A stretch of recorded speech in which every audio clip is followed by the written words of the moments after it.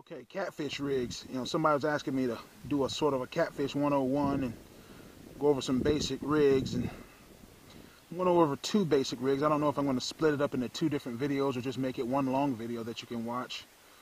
Uh, but just stay tuned for that. Um, I, I, target channel catfish. I don't really target uh, blues or, or flatheads. So this is all going to be channel catfish specific.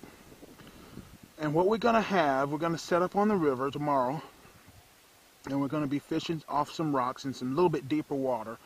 And we're going to have two rods in the boat fishing off the bottom. And we're going to have one rod fishing from the top of the water column down with one of my fishing floats. Uh, I don't know where the heck I put it, but oh, here it is right here. One of the shorter ones. If it's windy, I'll probably take a shorter one. If it's longer, I'll take a longer one. So I have two different rigs. The bottom rigs are heavier. The, the top rig is uh, lighter. So um, let me kind of get things spooled up and then I'll just start going here. This is the, you know, talk, you heard me talk about this rod, the LLCR9. This is what I use exclusively in the summer for channel catfish uh, off the rocks and things like that. It's basically a fly rod and uh, that blue tape there. I've just been working with the paintbrush, airbrush to um, uh, paint the tips uh, white. Probably not even going to worry about finishing it, just as long as it's got a little bit of white on it. Just experimenting with that. And as you can see, it's really whippy. I mean, it doesn't really mean anything. Ripping it like that is a good way to break your rod, actually. But the point is, it's a long, sensitive rod for catfishing, uh, channel catfishing, essentially in the shallows with light gear. I'm only running 12 pound test line here. Um, and that is contrasted with this rig here, which I'll be fishing off the bottom with, this is 25 pound test line here. I'd rather go with 20, but I didn't have any 20 on hand, so I spooled the old Tidewater, Shakespeare Tidewater reel up with uh, 25 pound test, and it seems to be uh, okay, and we're gonna go with that. And, you know,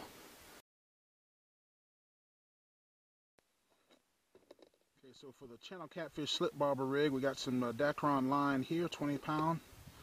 I get this from, uh, always carry a good knife fishing, folks. Good knife. Uh, you know, it's 20 pound test. First of all, we're using 12 pound test line for this. That's all I ever use for channel catfishing with bobbers. It's, it's really meant to be a light sort of sensitive way of fly fishing. One, I'm going to tie my stopper knot. One, two, three, four, and that makes five. I'm going to pull it tight. You can wet it if you want. Doesn't really matter, I don't think. Pull it tight. You want to make it tight because it's the stopper knot. So you're going to do that and you're going to come back around and tie another double overhand over it depending on how thick your line here is, you may only have to do the one time, but I always like to make it, because my about my uh, beads are a little bit, are unusually sort of large holes in them. So one and two, you know, so there you go there. It's always easier to do with scissors, but okay, so what we're going to do leave about that much on so you can get a grip and tighten it up if you need to. Be careful not to cut your main fishing line. Okay?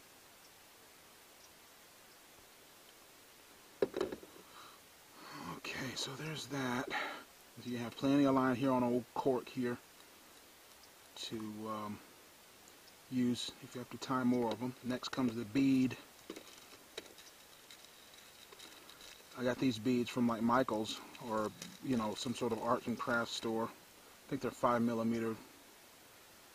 Use whatever bead you have. I, I for this thing I recommend something like eight millimeter actually. Six millimeters like a bare minimum really. Again I'm using these because that's what I had on hand. There's your bead. Okay, bead. See how the bead stops? Just stops right there. It won't go through the hole. That's what you want. That's what's going to set your depth. I've done a video on this before, but uh, I'm going to do it again. Sometimes it's good to just do things again, just so people can have it fresh in their minds and because you know it's kind of hard sometimes to look back through you know dozens of videos to find what you need and it's just easier to just to do another video on it and maybe link back to the old video next thing is the um, swivel uh, I use swivels with my thing with my uh, I can find a little bit smaller one. The bigger ones it's nothing wrong. Just get this use the I just want to show that you need to use this it's best to use the smallest swivel you can. In other words this is not a big swivel rig is what I'm saying. Okay and that's going to go on there right? Just you're going to put the it's a snap swivel and you're going to put the this make sure the snap end is loose. So that's where you're going to attach your float okay so all that you see stop knot bead snap swivel from there I'm going to tie on a treble hook and I do use treble hooks for channel catfish. Um, we can either use these, which are my favorite. These are the L, these are the LL no L7 L7 something L774, but I have some of the older ones here. And I made these up because I'm using some dough baits, and I figure, you know, I love fly fishing, right? So I'm always gotta rig up my hooks and dress my hooks some way. So I'm gonna put that on there, see if we can't get a little bit of you have your dough bait and a little bit of glistening in there in the wind. We'll see if we can't hook into them somewhere. And then we're just going to tie a basic palmer, or you can do a traditional fisherman's knot or an improved clinch, whatever you want. Just use your favorite knot here to direct tie to the hook. So there is no swivel or anything like that with this rig. That's, that's one of the things that sort of surprises people. This rig should really remind you of fishing for brim because it's essentially the same rig for fishing for brim and crappie with minnows and worms and crickets and stuff. The only difference is, is that you're using treble hooks and cheese baits and and uh, treble hooks, cheese baits, and 12 pound test line. You're just using heavier gear. It's the same rig, just heavier gear. Whereas crappie, you'd be using what, like six, eight, and 10 pound test line. For bluegill, you'd be using four and six pound line. And for channel catfish, you use be using 8, 10, and 12, you know, pound line, you know, upwards of 12. You know, if you want, if you're fishing from the bank like this, maybe you want to bump it on up to about 14.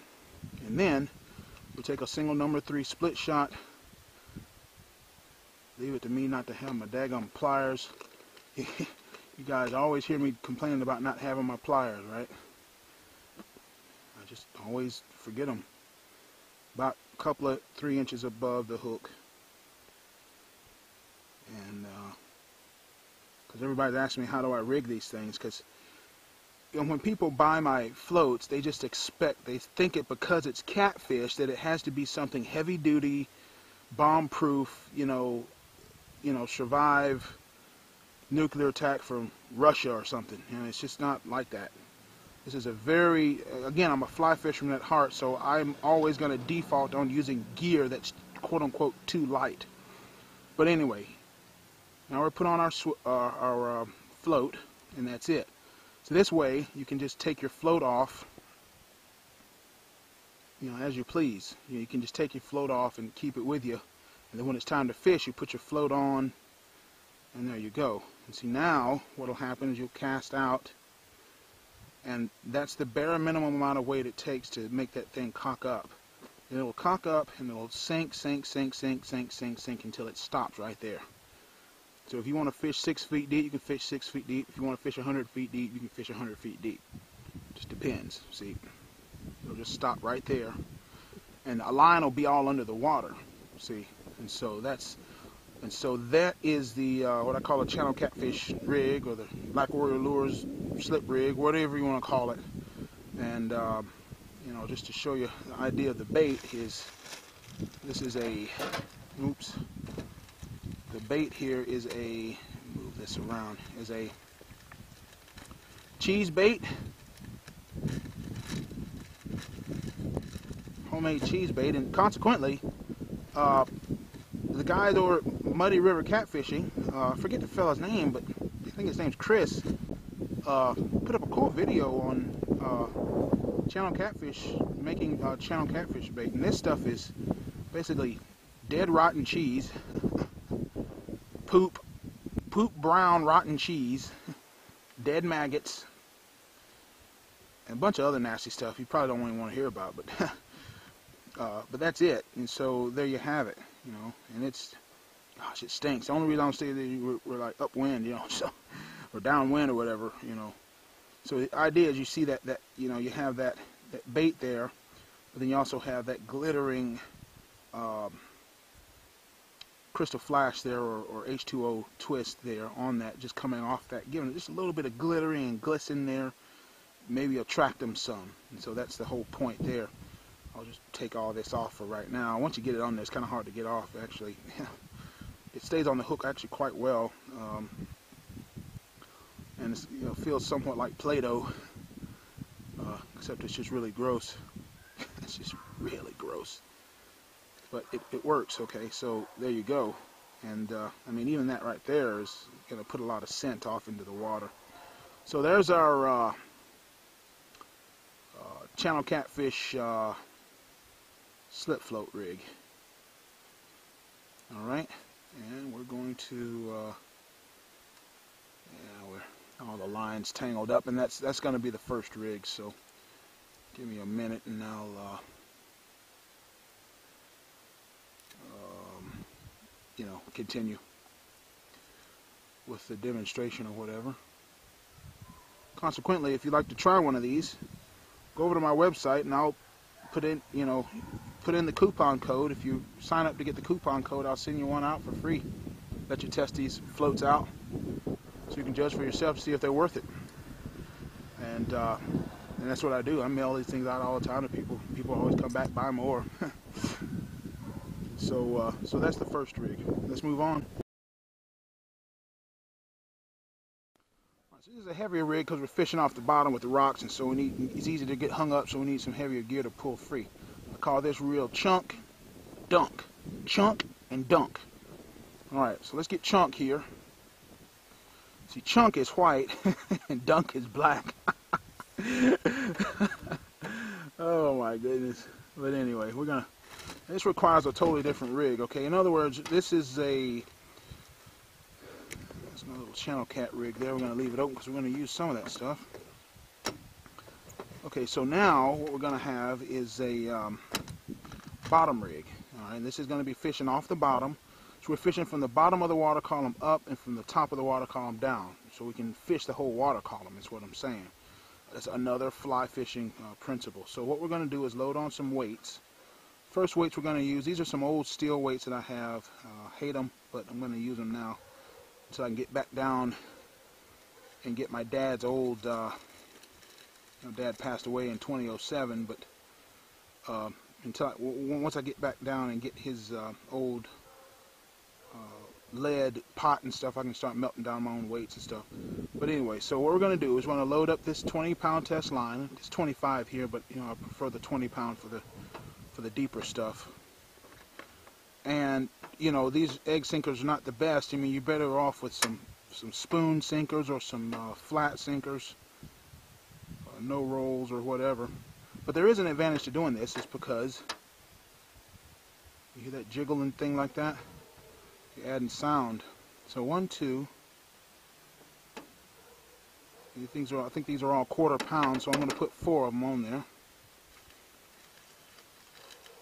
I mean, a quarter ounce a piece. So we're going to be using a lot of beads with this one. And this is just good old-fashioned Carolina rig, like you would uh, your your uh, good old-fashioned Carolina rig, like your old uh, like bass fishing. See, you can jiggle that on the bottom. That sound helps can help attract the fish. We're going to do something a little bit different. Um, we're going to put an old swivel here, a big ugly swivel here.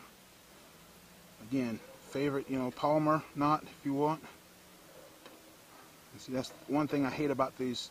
If those steel things rust, they'll just get all on your line, just color up your line. For the good thing is that you know, channel catfish, catfish just don't care about the color of the line. They're not line shy. They, they don't really give a rip. I mean, you could put daggum 10 base T cable down there. They'll, old, you know, they'll, they'll bite. And so what we're going to do is put that on there. Then now we're going to put the swivel in here. Tie a palmer. Uh, you, you, can do whatever you want. I, I typically go with a palmer because it's easier to tie than twisting line around six, seven, eight times and all that junk. Okay. Water. I mean, I always lube the line up because. Okay. Okay. There we go there. Get the old uh, Outdoorsman Lite Cold Steel. Let me do a review on that. Good knife. You're looking for a good knife to have to cut line and cut anchor rope. Good one to have.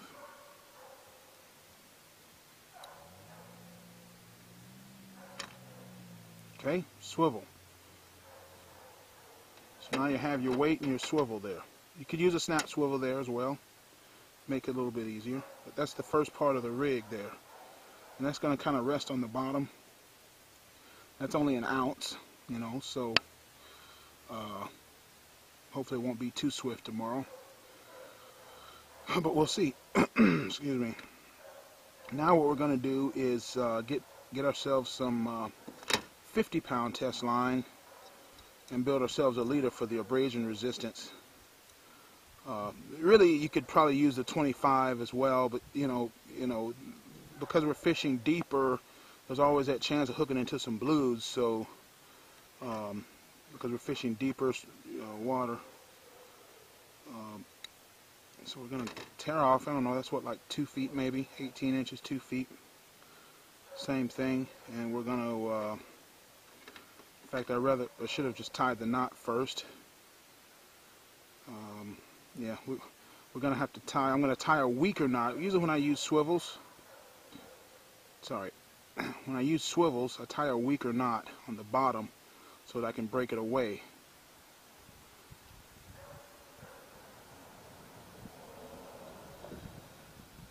Okay, get about five, just good old fashioned clinch knot. I'm not gonna I'm not gonna even do an improved clinch knot. I'm just gonna get old fashioned clinch knot.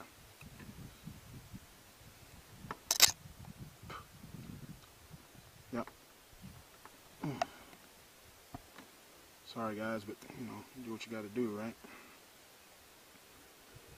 And the 50 pound stuff is just almost impossible to tie really.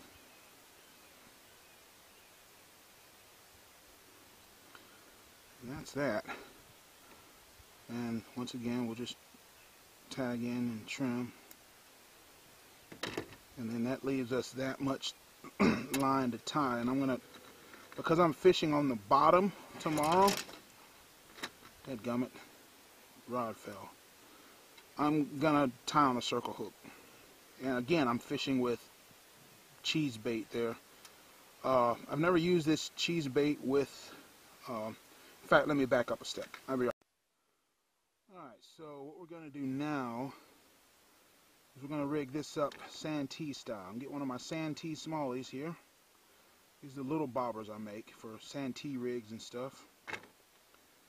Um, and what this does is, while that'll be resting on the bottom, this will be uh, floating up above off the bottom of the river. So we can put that there and uh, you can either just you know tie a rubber band on it or something to keep it in place or you can just put a little couple pieces of split shot on there and it'll just dangle up you know whatever we'll just probably use the split shot because it's a lot simpler and uh, uh, because if not it'll just slip up and down and and you know you know the good thing is that it will uh, always float up and it's going to always take the path of least resistance but anyway either way you want to do it, we're just going to put that on there like that. And that's our sort of our Santee version of our rig there. And we're going to put on our circle circle hook. Again, we're using circle hooks because we're not going to have our hands on these rods. They're just going to be resting like you saw me. So you, those of you who saw the uh, uh, last week's video saw that I was uh, fishing um, trolling, and so I have these kind of cast off to the bottom and I'll probably be standing up depending on which how much current is using the I really don't want to tie a, a palmer knot here one two three four five. We may do an improved clinch knot here to give us a little bit better chance with the fish. You know, again improved clinch knot just your good old-fashioned you know five things and it comes back through the loop. Uh, anybody who's ever done any kind of fly fishing knows that knot very, very well. Uh, it's just sort of the sort of the standard knot that a lot of fly fishermen tie their flies on. It gives you, you see that comes things comes back around like that and should be about 90 degrees like that instead of at that weird angle before. When you tie on this 50 pound test line, be very careful because you don't want to get a circle hook in your hand. It, that's like emergency room. All right, get ready to experience pain and things. I'm sure you don't want to do that. I mean, I don't. So trim that off, and then there's it. There, there you go. Um, typically, when you fish off the bottom, you can fish. Uh, now, this bait is better to use with. Uh, treble hook because it will fly off if you I mean you sling it hard enough it's gonna fly off the treble hook gives it a lot more bite because you got three points of contact instead of just the just the one but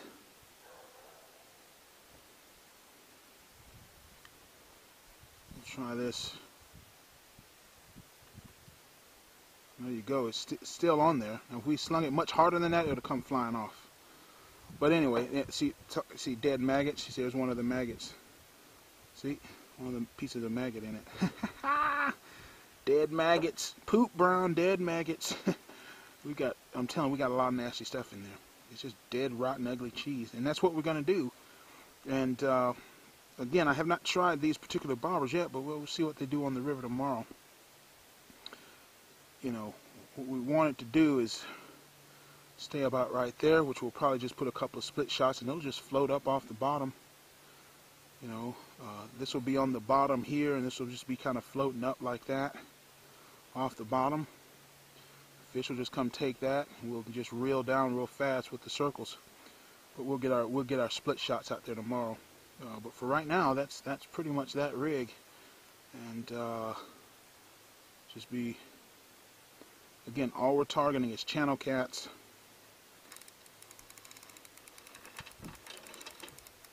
We're targeting is channel cats with this. And that's that rig. And again, what we'll do is just uh,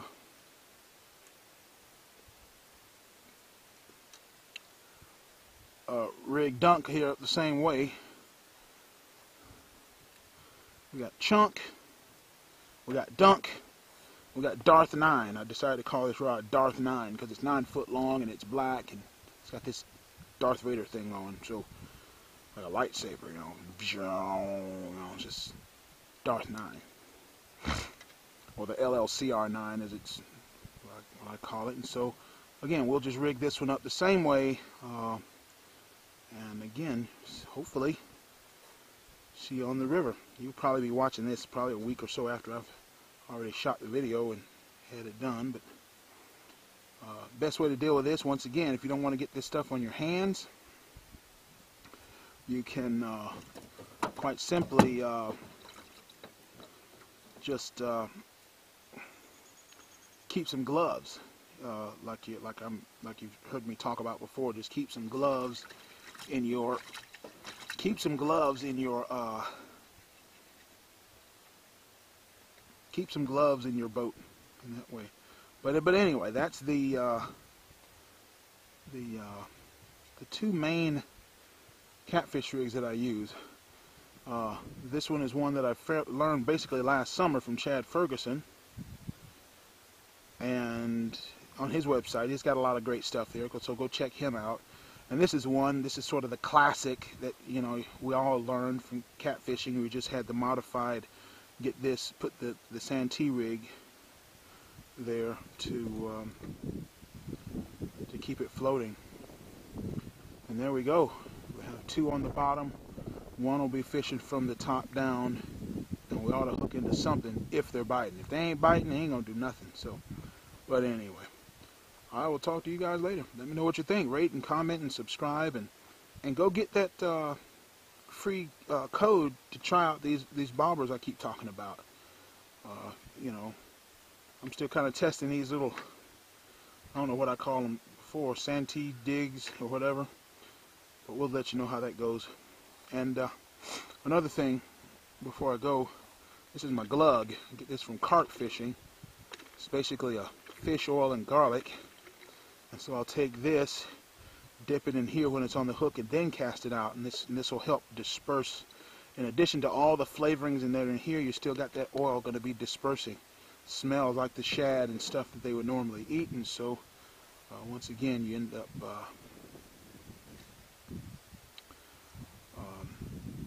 doing pretty well. So anyway, there you go. Go have fun. I'll talk to you guys later. Bye.